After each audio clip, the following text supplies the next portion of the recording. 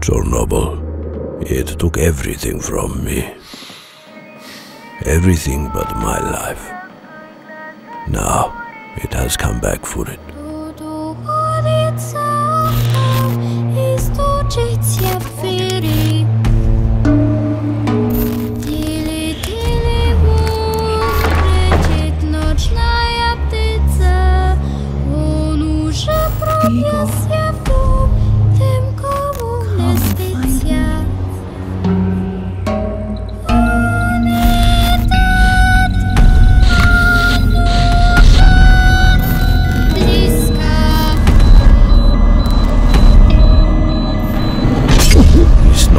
How you face your fears.